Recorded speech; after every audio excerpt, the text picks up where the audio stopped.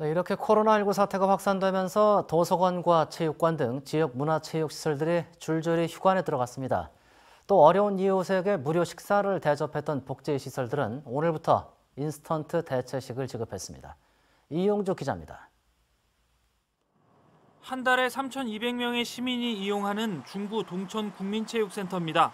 1층 수영장은 불이 꺼져 있고 대강당과 스쿼시장도 텅 비어 있습니다.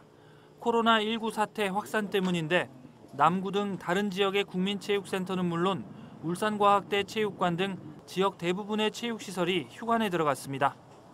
체육시설 폐쇄하는 것은 뭐 전체적인 국민들의 어떤 요구 사항이고 하기 때문에 하는 건뭐 정당하다고 생각합니다. 그러나 좀 아쉽습니다. 당분간 체육 강사도 출근을 하지 않고 대표 전화를 받는 직원과 소독 작업을 하는 운영팀 직원만 남아 근무하기로 했습니다. 그 잔여 일수에 대해서 이제 전부 환, 환불 처리를 저희들이 일괄적으로 해드립니다. 소일거리를 즐기기 위해 어르신들이 찾아왔던 이 노인복지관을 비롯해 장애인 시설, 육아 종합 지원센터, 여성회관, 가족문화센터 등 복지시설 921곳도 휴관에 들어갔습니다.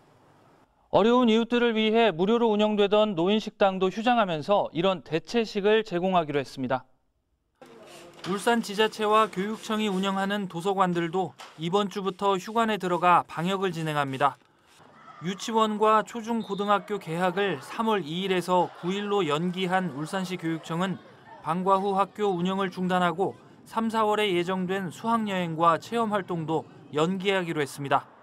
이와 함께 3,500곳에 달하는 지역 학원과 교습소에는 휴원을 권고하고 울산과학관과 수련원, 안전체험장은 일단 이달 말까지 운영을 중단하고 사태 추이를 지켜보기로 했습니다. MBC 뉴스 이용주입니다.